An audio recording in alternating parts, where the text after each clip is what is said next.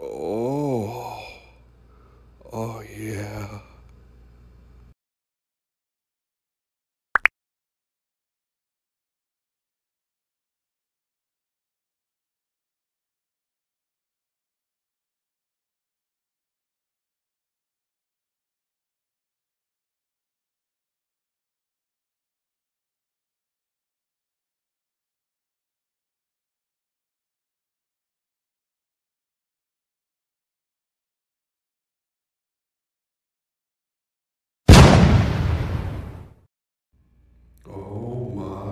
God. Look at that shit.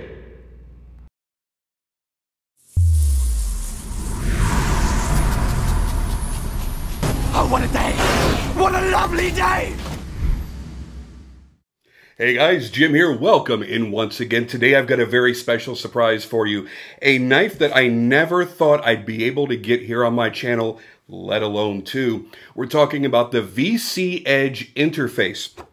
Now, these are both custom made knives with a lot more to them than even I expected. And as I started to do more research and as I started talking to the maker, Jayson, it really made me realize how insane these knives really are. Now, a lot of people are going to want to focus on the extreme lightweight of this knife. And while that is certainly a major selling point for them, it's not what I want to harp on. We will talk about it, we will do comparisons, and we will weigh them. But what I want to talk about is just how exceptional and wildly different these knives really are. So here's what I'm going to do. Uh, we're going to break this up into a few sections.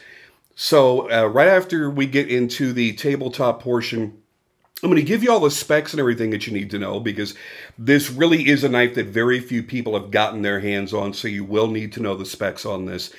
And I'm going to come, right out of the gate from there and talk about what I think of the knife, what I like, what I don't like.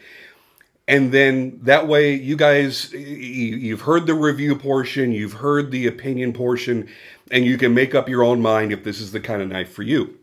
Then the rest of the video, I'm going to spend talking about how unbelievably technically difficult it is to achieve what he's done here. We've seen a lot of really great knives come out this year with really wild technological or technical, I should say, achievements. Uh, I always go back to the Winterblade Factor because that was like the big wow knife of the year, right? It, it did so many things differently, well, with magnets and no detent balls and all the crazy shit that was associated with it.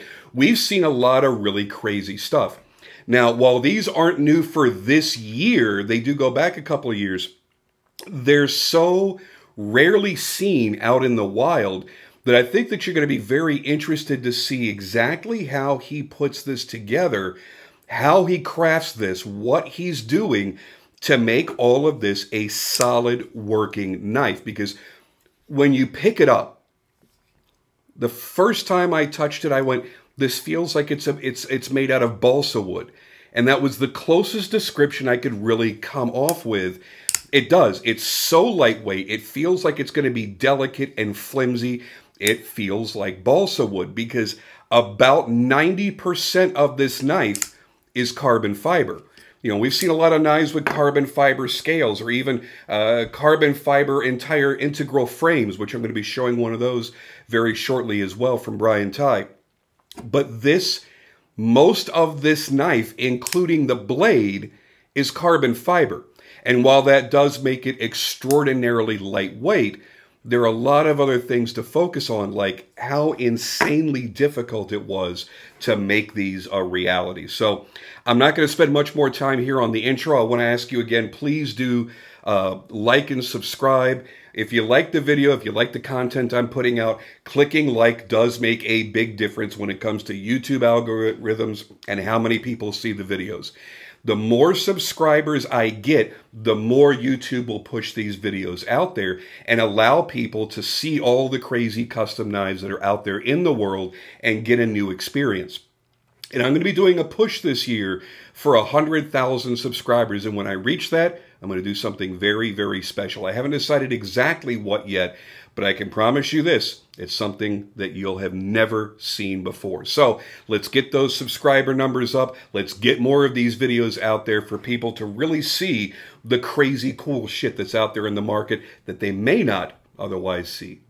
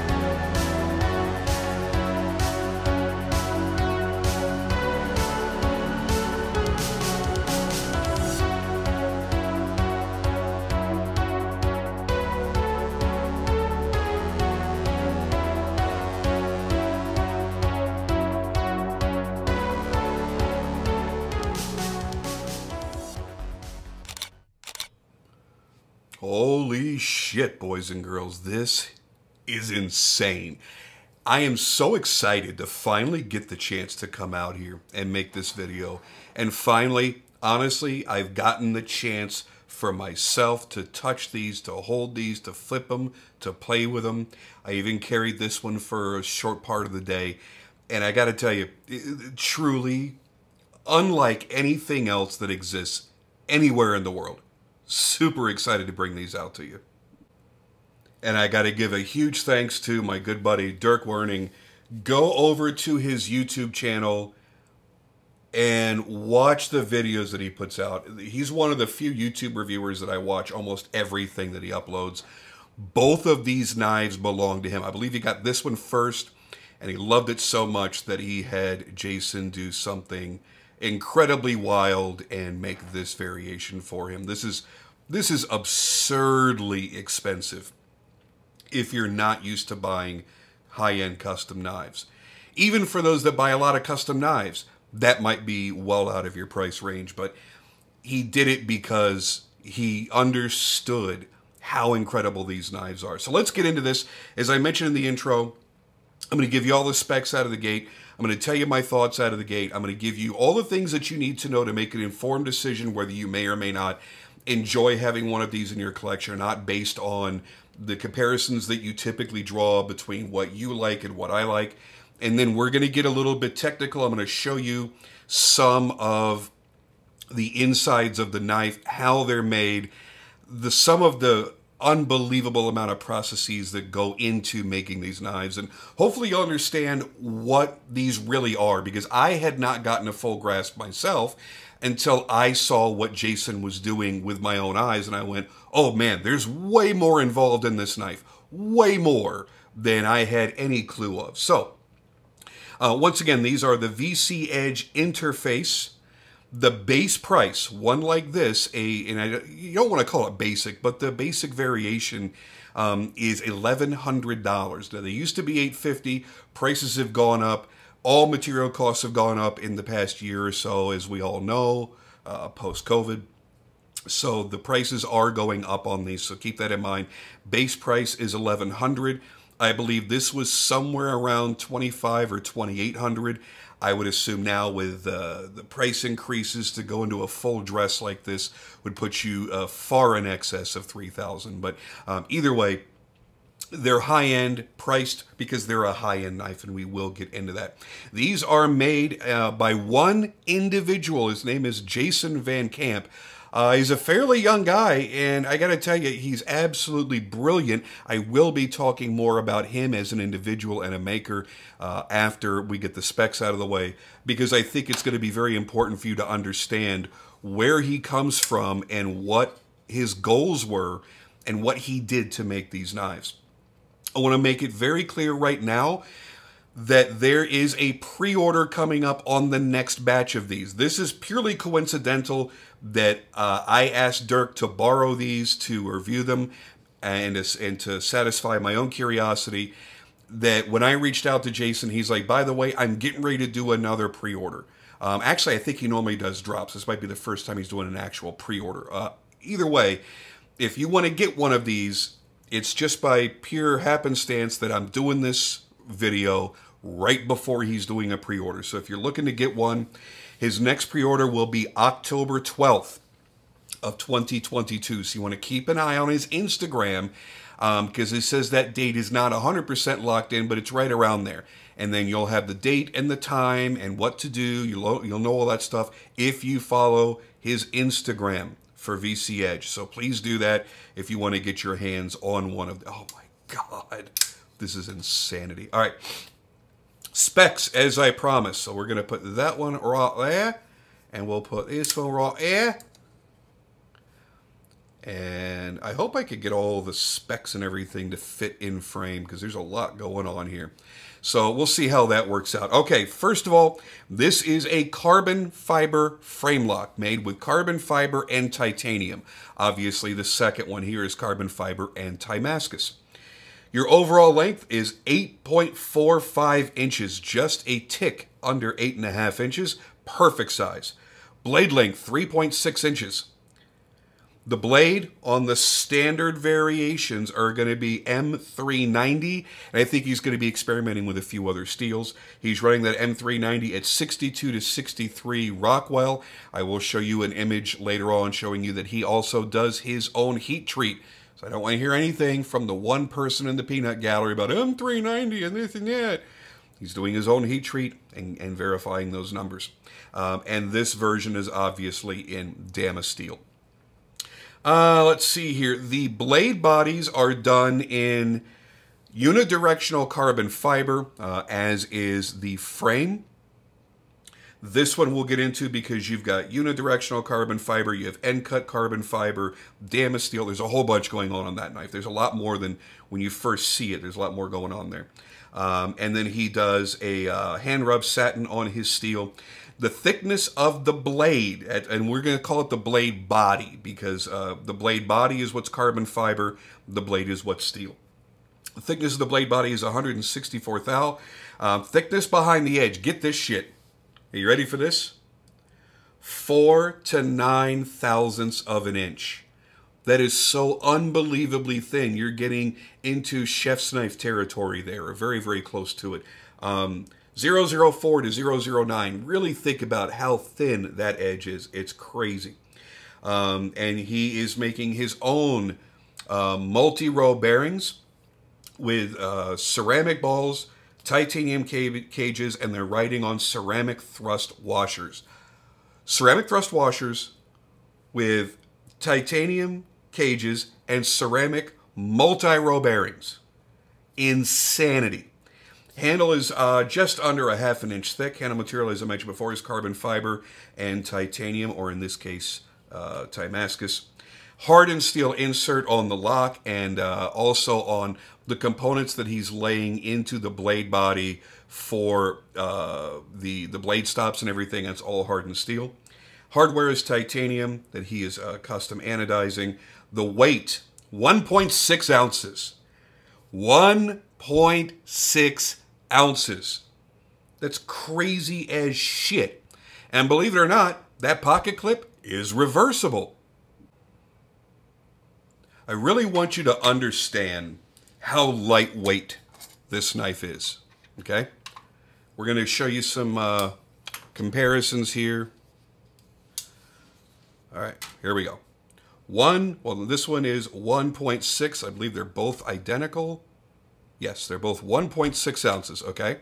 So here is a comparable sized titanium frame lock. My custom uh, Plunkett knives XL warning. We go from 1.6 ounces to 4.8.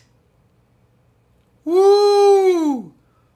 Again, 1.6. Let's get into a knife that one of its primary reasons for existence is being lightweight. The Avian Knives Atlas. Go from 1.6 ounces to 2.5. Sizes are fairly comparable. This is even smaller. That's your difference between an all titanium frame lock and a carbon fiber with titanium frame lock. Let's do this again. 1.6 ounces. Here is a Brian Tighe tie down that is a carbon fiber integral. So the entire frame is carbon fiber. 1.6 ounces, 4 ounces. And last but not least, let's give it a comparison against a really nice small EDC that a lot of us would carry every single day and be perfectly happy because it's so lightweight. 1.6 ounces versus the Moolah at 3.6. This little boy right here is two ounces heavier than that. Tell me that this is not absurd.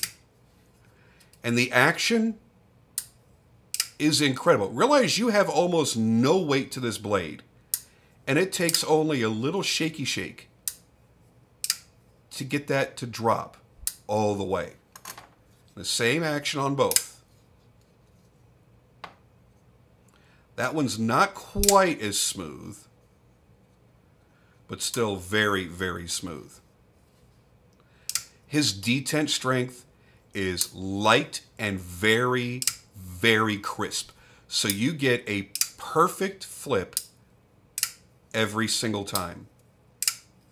I got to tell you right now, even though when you first pick it up, it really fucks with your head, and you're like, man, is this thing made of balsa wood? Is this one of those little rubber band airplanes that I used to have? When, okay, now I'm, I'm a lot older than a lot of my audience is now. Um, we had these little rubber rubber band airplanes that were made of balsa wood, and it had a red propeller, and you would twist it around, and all it would do was it was it wind up this this long rubber band.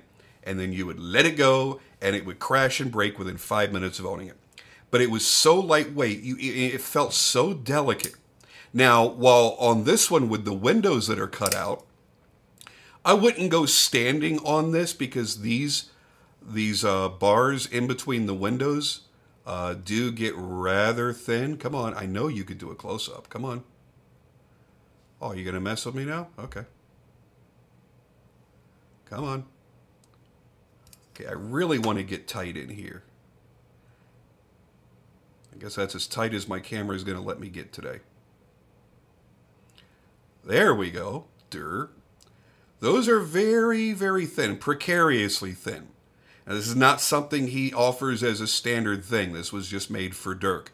Um, it was more of an experiment than anything else. So, yeah, I wouldn't go standing on that. However, when you get into the standard variation, very, very little flex. Remember, this is carbon fiber. Uh, it's going to be every bit as strong as steel, but significantly lighter in weight. So titanium would flex about as much as this carbon fiber would. So there's no delicacy to it. There's no reason to think, oh, this is going to break and this is I have to baby this thing. Absolutely not. Okay, let's get back focused down here. By the way, those that are concerned that this slipped uh, that that slipped out of my hand, this is vinyl. This is not actually granite. It just looks like rock. So don't don't freak out. All right. So we've got the specs out of the way. Showing you a couple little tiny things. What do I think of it? before we get into all the technical stuff and I start showing you how this thing is made, I got to tell you, when I when I first saw Jayson posting about these, I've been following him since pretty much the beginning. When I first saw him posting, I'm like, "Oh man, these things are just insane." But man, being all carbon fiber, is that going to be too lightweight? Am I going to like that at all? And I even had reached out, I had sent him a message a couple years back now when I, when I first started, I only want to say when I first started making knives, but when um, I was feeling comfortable working with more exotic materials. I had reached out and I'm like, dude, can you make me a couple of blades? I would really love to uh, to work with this because I didn't understand how these were made. And he's like, no, I'm not really going to be offering uh, blades uh, as, as a material that I sell to knife makers. It's, it's really just going to be kept to my knives. I'm like, okay, cool. Well, if you ever change your mind, please let me know. Um, because I thought that he had some way of making a composite blade um, in a fashion where you could just sit there and grind this like a normal knife, and I could make a cool fixed blade, and I could throw some uh, scales on there, and it's really not quite like that. And again, I will be diving deep into that. I would look at the, that Timascus inlay in the flipper tab, man. How crazy is this shit? So I've been following him for a while, and I really wasn't sure exactly what to think because this really is the kind of knife that you have to hold, you have to touch, you have to experience for yourself. Because I've bought a couple of knives that were smaller, that were uh, a lot of carbon fiber. Um, the last one was uh, was a Marfione Custom Mini Matrix, and I didn't like it because it was too lightweight. It felt really, really weird, and I couldn't get past it.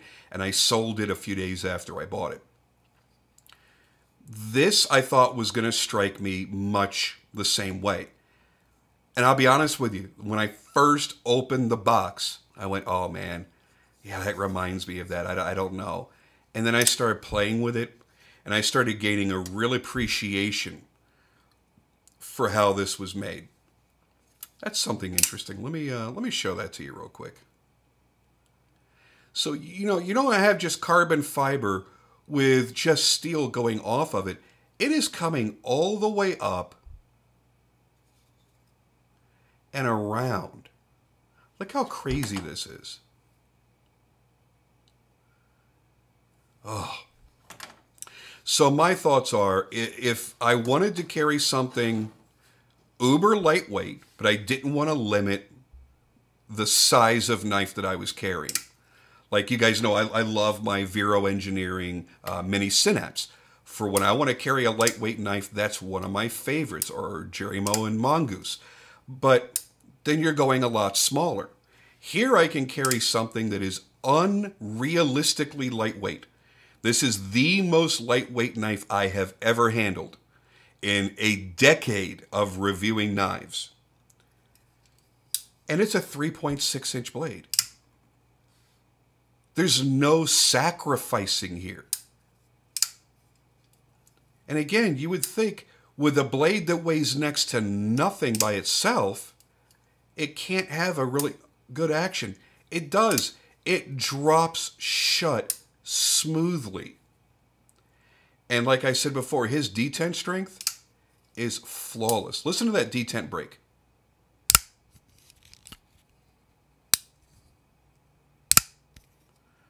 Listen to this one break. That one's a little bit louder.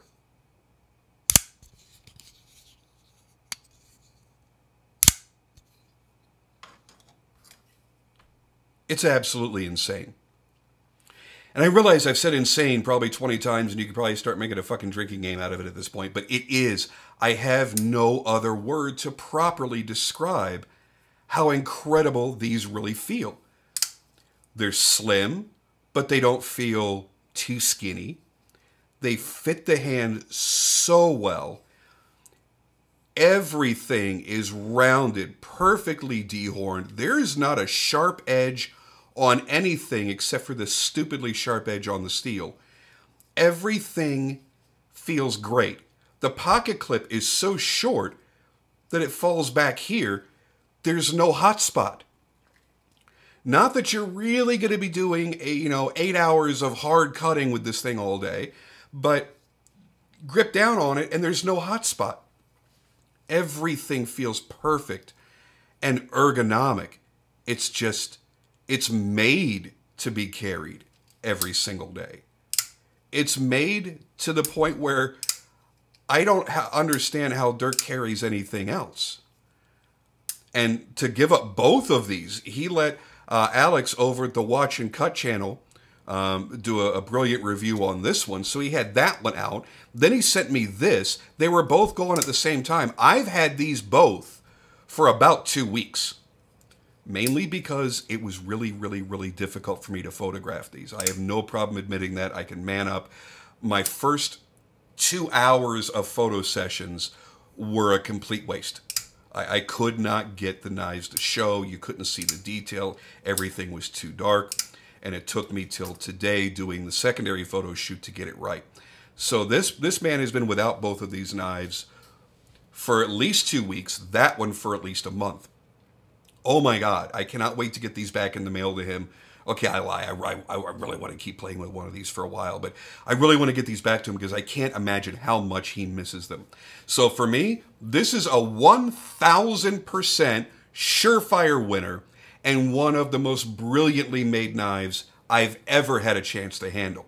Now, with that out of the way, let's talk about how technical these knives really are. Because there is a tremendous amount going into them.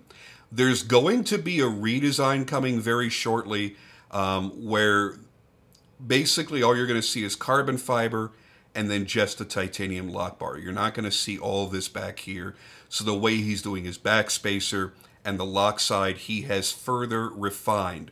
So if you're like, well, I don't really care for this, this whole thing here, it just looks too bolted on, that's fine. That is going to be gone. You're just basically going to be seeing a lock bar like you would on any frame lock. And oh my God, I almost sliced my finger open just by gently touching it against the edge. All right, that's just downright fucking dangerous.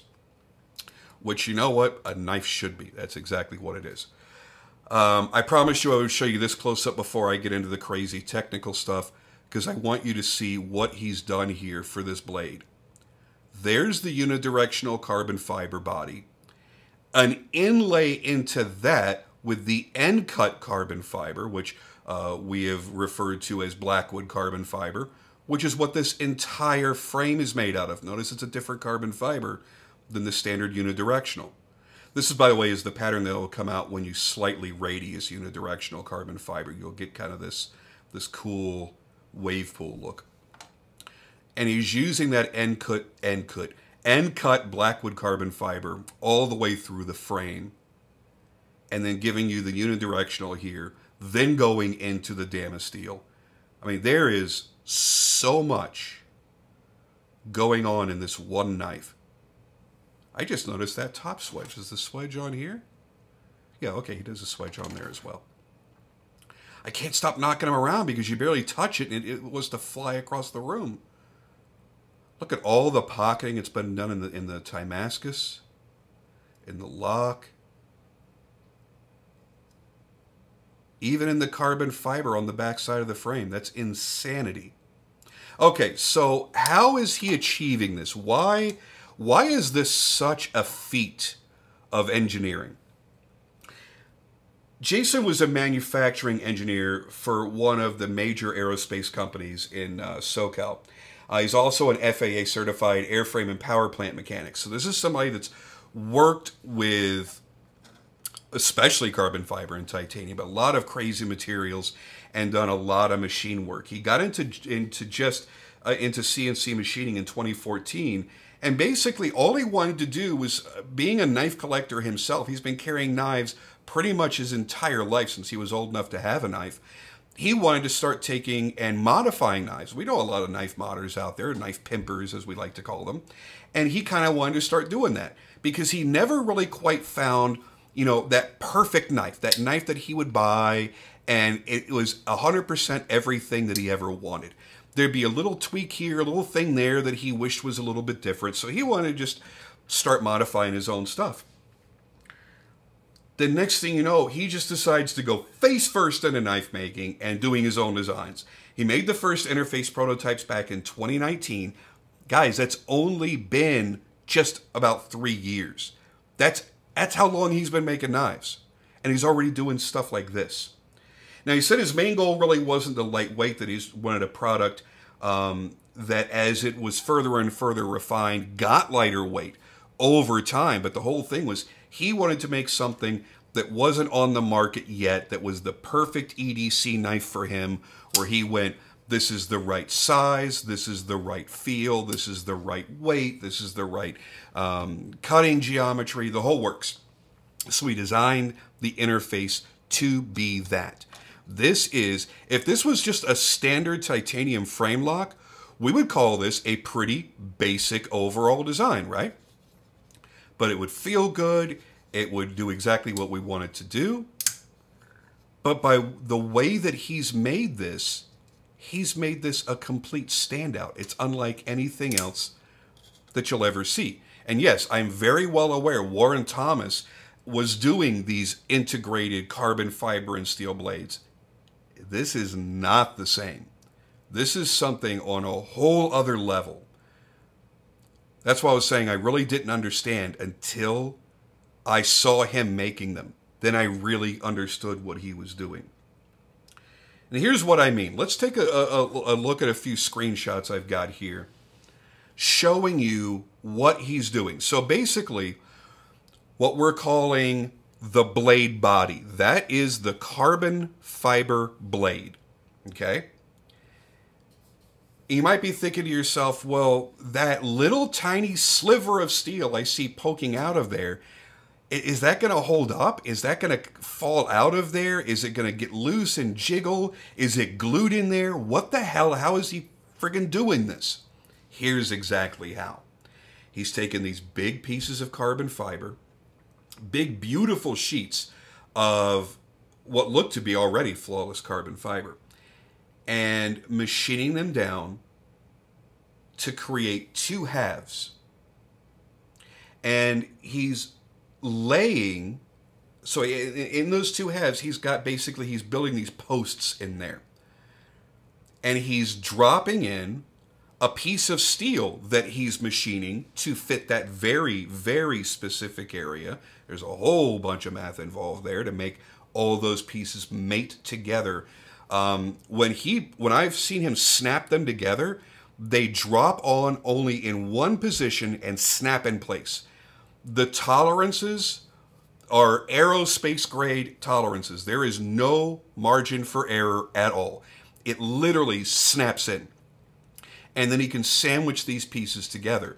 And those posts that he's made that go through the mating holes in the steel blade keep it together.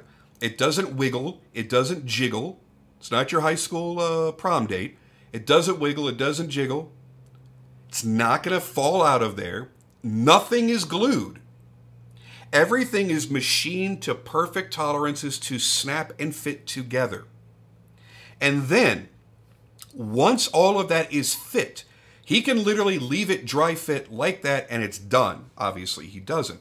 He has a special epoxy resin that he's custom mixing that he uses to bond everything, to give it a permanent bond. There is no taking this blade apart. Once he has dry fit everything, made sure everything is fitting the way that it needs to fit, no gaps, no craziness going on, then he forms that epoxy bond. That bonds it together permanently. Once he's done that, he could take the whole thing and then he machines the bevels. He does the bevel cutting on his fourth axis CNC, which is incredible when you look at how perfectly ground, we'll use the term ground, this really is, with the primary bevel and with the swedges, which it's really hard to see the swedges because it's all carbon fiber. And then a whole bunch of handwork back and forth between all these processes, cleaning up all the outer edges here because there's going to be epoxy coming out all through there. Then he's going to go back and hand sand this and hand sand it and bring that finish in the carbon fiber perfect, bring that finish in the steel to where he wants it perfectly. Which is even more difficult on this Damasteel because it's got to be done to a high polish and then etched. So he's doing all this, finishing it off by hand, and then applying an utterly ridiculous edge to these things. And it's seamless. Remember, this is an inlay. So this is a different carbon fiber than this. When we look at this, when I say seamless, you can't tell that this is a piece and this is a piece brought together, sandwiching the steel inside. The, the, the difference between the carbon fiber and steel is almost completely imperceptible. Fuck, I almost did it again. Do I have any? Okay, that was that was close. It is almost imperceptible. I would not suggest you close your eyes and do that, but if you were closing you closed your eyes and did this, you would not know where the carbon fiber ends and the steel begins. Then he's doing the inlay to show his maker's mark and the blade steel, which he's got on here as well.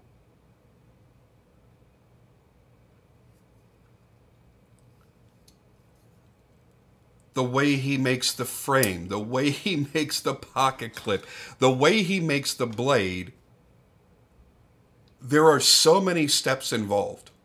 When I first saw him doing these at 850 or 880 or whatever it was, I thought that's got to be really hard to do for that low of a price. With what I thought I understood of his work. You got to realize that, yes, while I am a knife maker, I'm a handmade knife maker. I don't even have a manual mill. Everything I do, I do by hand and on a grinder and machines like that, drill presses and stuff. I don't have a manual mill. I don't have uh, a, uh, obviously, don't have a CNC. Don't know how to program. Don't know how to do any of that stuff. So, as I'm talking to you about this and showing this to you, I can only explain it to, to my limited knowledge, watching my friends that have done this stuff and then seeing what Jayson has done.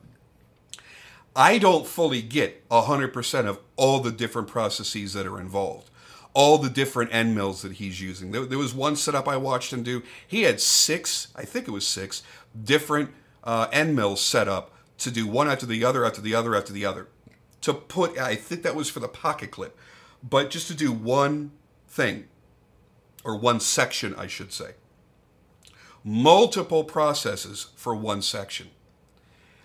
Everything on here is cut and machined, and then machined some more, and then hand finished, and then cleaned up, and then hand fit together, and then repeat the process for the blade, the three components of each blade and then do the same thing because he's making his own bearings. I mean, obviously not the balls themselves, but he's buying the ceramic balls. He is making his own titanium cages, writing on these ceramic uh, washers. All this stuff is coming out of his head. He's making his lock insert. He's making his lock interface. He's making his uh, blade stop half moon. He's doing because there's there's an insert of hardened steel that has to lay in the carbon fiber blade. There's so much that he had to think of, and I'm sure quite a lot of trial and error as well. That I went, how is he, even with my limited knowledge of what he was doing at the time, how is he doing these for 800 and something dollars? And now that I've seen many of the things that he's doing, he's still not showing 100% of what he does I look at it and go, even at the new price of 1100 I don't understand how he's doing it for 1100 and actually paying himself labor enough to make a living to justify making them. Obviously, he is. He's not a dumb guy.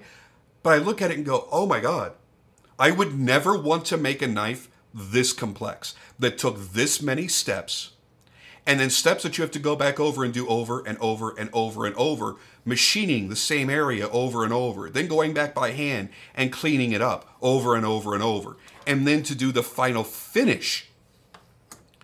I don't ever want to make a knife that makes me have to work that hard and that long on one single knife. At that point, I would get one knife done a month.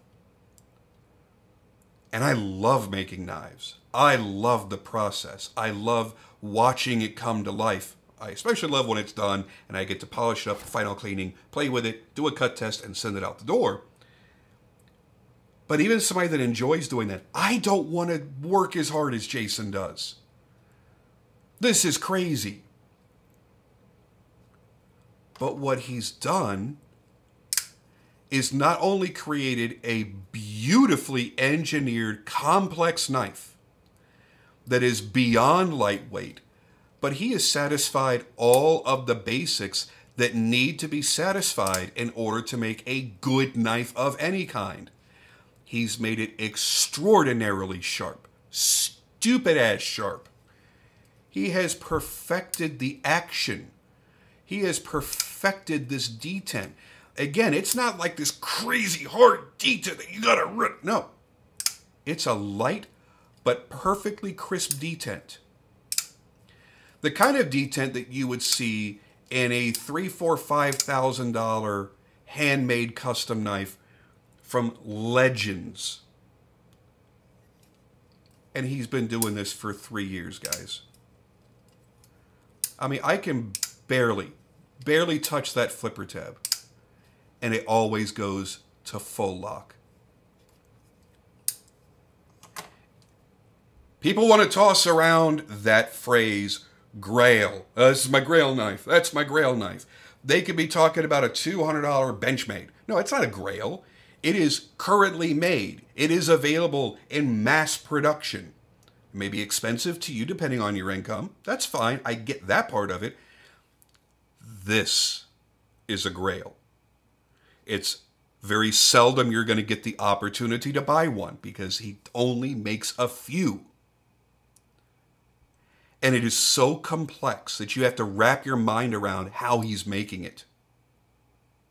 And yeah, it's expensive. And I can guarantee you, whenever Dirk goes to knife meetups with other knife dudes, or he goes to even some of the biggest shows, I guarantee you, the majority of the people that ask him to pull a knife out of his pocket to see what he's carrying don't even know what this is because they've never seen one. Maybe they've seen a picture, but they've never seen one in person.